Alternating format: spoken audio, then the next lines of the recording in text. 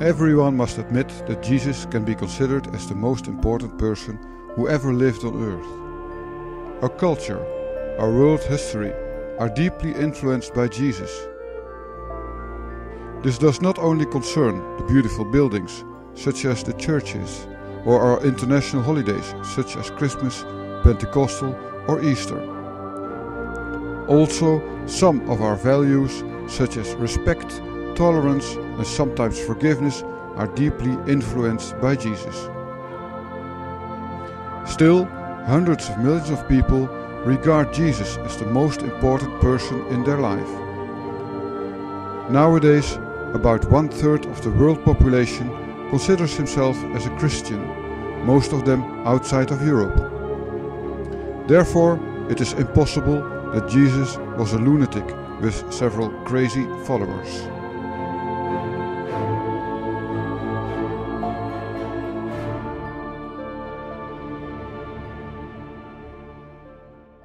You doing? Going fishing.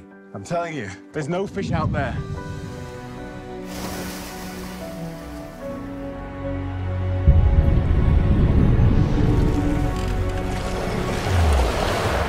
How did this happen? Come with me. What are we gonna do? Change the world. Almost 2000 years after the life of Jesus, everyone must admit that Jesus did change the world. But did he really live? Or is Jesus pure fantasy? Not according to the first Christians. Within 30 years after Jesus' death, thousands of people believed in him. This was not just some belief. No, they were willing to die for Jesus.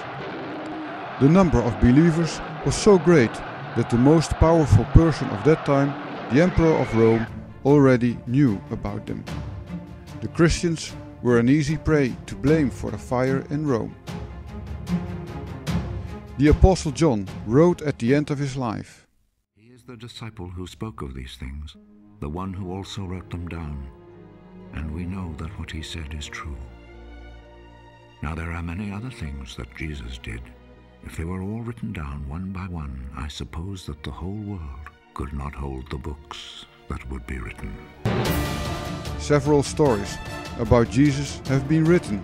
Luke wrote that he investigated everything carefully. There are four reliable Gospels written about Jesus. In three of them, several parts are exactly the same. These parts are derived from one source, probably a source written shortly after Jesus' life. Difference in the details shows that the Gospel writers also used other independent sources. Somebody tell me, Peter, come. answer if.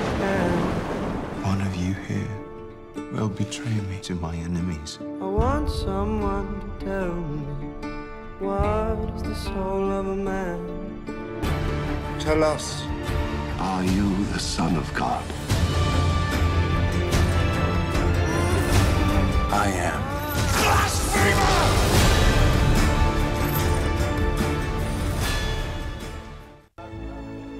The reliable Gospels were written in the same century as Jesus lived. Gospels from later centuries were less reliable. Jesus said that your word should be true.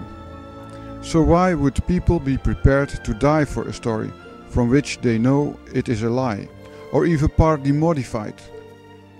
How is it possible that simple fishermen are able to tell such a brilliant gospel? The Gospels have been analyzed, discussed, explained, quoted, reinterpreted, and inspired billions of people. Why should the simple fisherman feel the need to tell an unreliable story about a man walking on water, or even worse, a man who died like a criminal? Why would people believe that this man rose from the dead? Think about your most important moment in your life. Will you forget it after 30 years? Which details do you remember from that moment? And if you have told the stories during several years, together with thousands of other people? I've had reports of a young prophet of Nazareth. It's rumored he works miracles. They all do. Blessed are the pure in heart, for they shall see God. Pray to him, and he will listen. 5,000 came to see him.